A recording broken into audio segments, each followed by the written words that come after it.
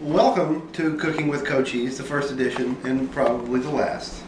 Today we will be preparing the moose knuckle turkey, um, especially for my friend Karen. Go Huskies! We have our ingredients together. We have one 12 pound turkey, 10 to 14 pounds is what it says on the package generally. I have removed the giblets from the front and the neck from the back and this nuisance right here that is good for co overcooking turkeys. I'm also going to take out the wire and I'm going to remove this, the Pope's nose. And the reason it's called the Pope's nose is you put your nose, your two fingers on it like that, and just twist it right up. the vegetables we have are celery, carrots, and onions. This is a basic mirepoix. It's going to go in the bottom of our pan to hold the turkey up out of the juices so it gets nice and crisp. We have some seasonings. We have rosemary, sage, celery seed, pepper, salt, Italian seasonings, and what is about one and a half sticks of butter. And you could save your giblets and everything to make your gravy with, but I just use good old-fashioned Swanson's low sodium chicken broth because this is all about a quick, fast turkey that is delicious. So we're going to clear our vegetables up real quick. We want to just roughly peel our carrots. Most of these vegetables are going to cook down to either nothing, um, and they're not actually going to be part of the dish. Once again, they're just to hold the turkey up off the bottom of the pan.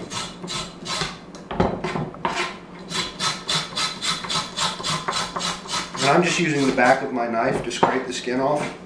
This is something that some people don't agree with. You could use a peeler if you feel better but I spend more time looking for a peeler than I do actually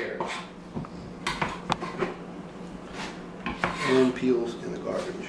Now we're going to cut big chunks because these vegetables are going to have to cook for a good hour. And we want them to just really hold the turkey up off the bottom. Doesn't have to be fancy. They don't even have to be uniform. Once again, you can eat these vegetables, but I generally don't. They're just there for effect and for aromatics.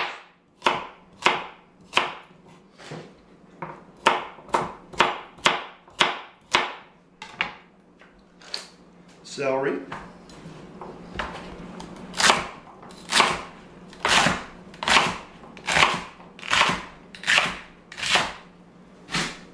I use a disposable pan to cook my turkeys in because I do so much cooking and cleaning. I don't like to wash dishes on my day off. We just throw those vegetables in the bottom.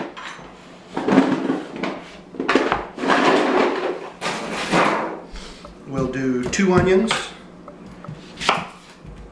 Onions don't have to be pretty. They don't have to be small. So in this case, I'm just going to cut off the top and bottom ends and it'll make peeling them a lot easier.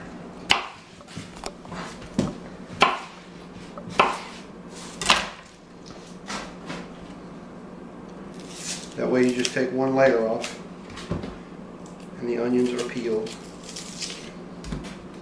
I'm using sweet onions. You can use white, yellow, Bermuda, red, whatever makes you happy, whatever's cheaper, whatever you have in the cabinet. I'm just going to cut the onion in half.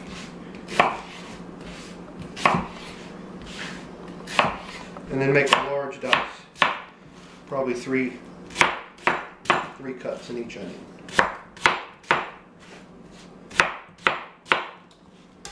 And once again, into the pan. We'll just mix them around. So what we have is a nice, nice base of vegetables that should be about an inch deep in the bottom of the pan. Now we have to carve the turkey. Cleaning the turkey is the most difficult part.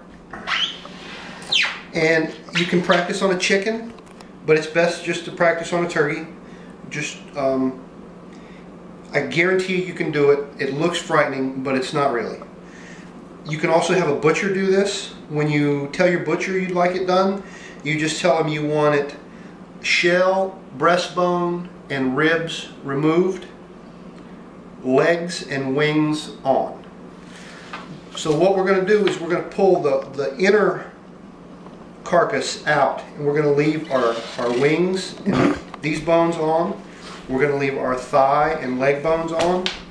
And the best way to do that is to cut right here down the backbone on either side.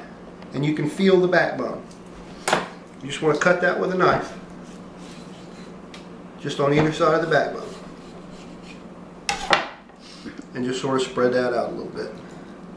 Now you can feel right in here, there's a blade bone. We want to get on the outside of that bone. That is the beginning of our wishbone on the other side of the turkey too.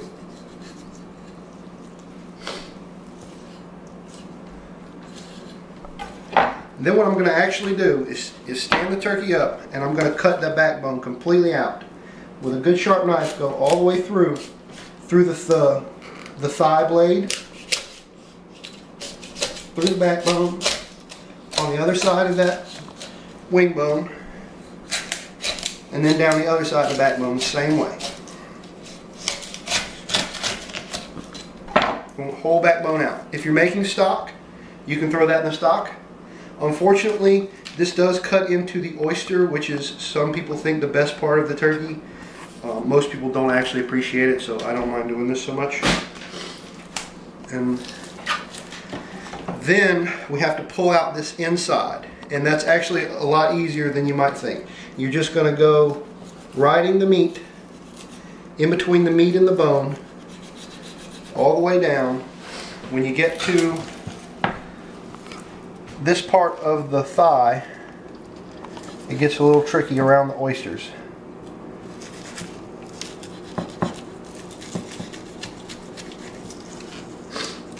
But all I'm doing is separating meat from bone. And each time I'll just kind of spread it out a little bit with my knife. When we get in here, it's where this arm attaches to the shell. And we get down here, it's where this leg attaches to this blade right here for the thigh. And this is a ball and socket joint right in here. You can see it start happening. All I'm going to do is put my knife down in that socket and wiggle it around a little bit and it'll pop right out.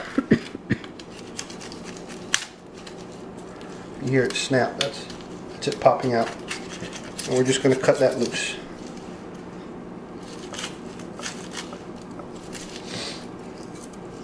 Alright now, before we pull this away, we have to free all of our breast meat down in here. And we're just going to follow the bone. I use these fingers to pull it all away. Follow the bone.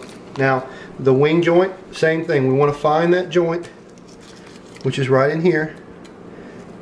And we just want to get our knife right in the middle of it and pop it free. Sometimes you have to coerce it. that free. Cut this free. Now, here's where you can mess up the supreme of the carcass. You got to remember we're working actually on the front side of the turkey now, but from the back. So we want to just slowly pull away. This is our the beginning of our wishbone right here. That's going to stay on. Can't have a Thanksgiving turkey without a wishbone. When was the last time you saw a food documentary where the cameraman makes their own comments? First time for everything. All right. So now we've, we've gotten down to this side of the turkey is all the way free except for the very end of the blade that is the breast. This is our the back side of the breast. This is the supreme or the tenderloin. Now we're going to kind of push this back together and we're going to do the other side exactly the same way. We're going to come down here.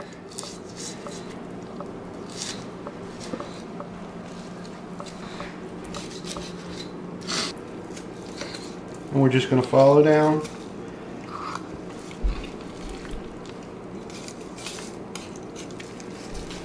Now all we've got is this, the keel or the blade of the turkey holding that meat on. You don't want to cut too much here because you want the, for presentation purposes, you want that turkey to, to be joined in the middle. If you're not careful here, you can cut the turkey apart. And there it is. That is the shell of the turkey. This is that blade bone. Here's the wishbone. Here's the two plates. You can see that little ball where the, the leg joint goes in. This is where the wing joint would join. Once again, this great stock material. Garbage. Um, now we have our deboned turkey. And if you can buy it like this, that's wonderful. The beauty of cooking it this way is when we cook it in the pan, we're going to cook it like this, nice and even, and you'll notice that the thigh is just as high as the breast. The wings are tucked in nicely, and this whole thing is about two inches thick instead of the six inches that it would go in the oven. Now at this point what I'll do is I'll just trim his collar a little bit. If there's any big lumps of fat somewhere, I'll trim them. Otherwise, the turkey is cleaned at this point. We have our one and a half sticks of butter. We have pepper. We have Italian seasoning. Um, let's see, you're going to want quantities. I'm going with two and a half tablespoons. Sounds great. And maybe a tablespoon of pepper, um, two teaspoons of salt, one teaspoon, two teaspoons of sage, two teaspoons of rosemary, and one teaspoon of celery seed. And then this butter I've just left out, it's kind of soft. You can microwave it slightly. You don't want to totally melt the butter, you just want the butter soft. And then we're just going to work all of our herbs into the butter to make an herb butter. And it doesn't have to be pretty because eventually this butter is going to melt. What we're going to do is we're actually going to stuff this butter. If we were to just rub the turkey down with butter, it would make this nice, beautiful golden and the butter would just run right off. But we want the butter to be in the flavor of the meat. So what we're going to do is we're going to make the turkey hold it. We're going to go up just with one finger. I'm going to push in between the skin and the breast and I'm going to make a little pocket right there. Same thing here, in between the skin and the breast. Notice I'm going in in one hole with my finger and then I'm moving my finger like a windshield wiper blade to open up a pocket. Then I'm going to do the same thing in the thigh. I'm going to go in between the skin and the meat, windshield wiper, skin and the meat, one hole, windshield wiper. And then I'm going to take a little ball of butter, make it like a sausage, and stuff it right back up in there. Now, do you the windshield wiper effect when you with the butter or just before? No, we're going to massage this butter into place. So we're just going to make like a little a little bulge right now. Got a little butter ball there, a little butter ball there. We need a little butter ball in here. So now we have got the butter in between the skin and the breast. The skin will hold the butter to the meat and then it will melt down within. So all we're going to do now is we're just going to massage that butter down across the breast. Massage it down across the breast. If it's in little clumps, that's fine. The 375 degree preheated oven is going to take care of that. And then I like to push this all the way down the leg because invariably someone loves the turkey leg. Once more right here. All the way down to the leg. Now, we've got butter underneath. But we need butter to make the skin all beautiful and crispy, which is really the best part of the turkey. So we're going to take some more butter and I soften it in my hands a little bit and we're just going to rub this all over the outside, everywhere. Get them a little bit in the armpits down there, a little bit underneath the breast, on top of the wing, just like this, down in here. And then I tuck the wing tips just down to the thighs, just like that. And that is the dressed bird. Now we just take the bird, the hardest part, and throw it on top of our mirepoix.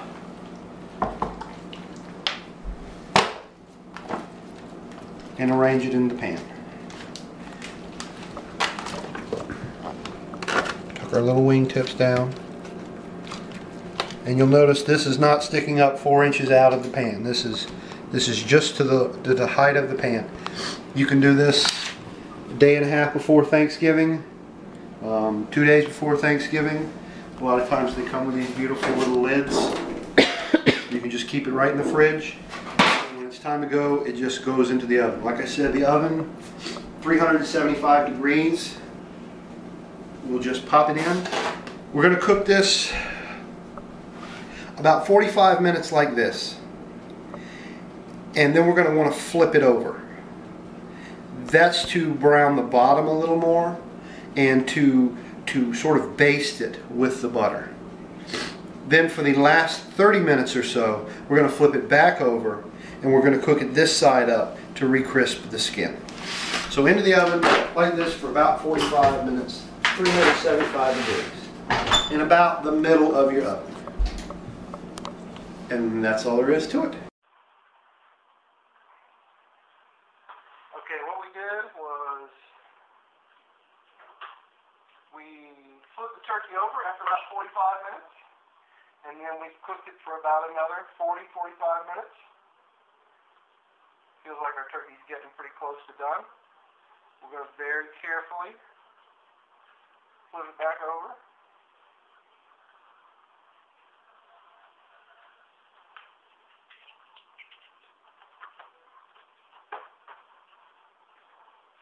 Try to line it all back up. This is to give our, now we want to crisp the skin up.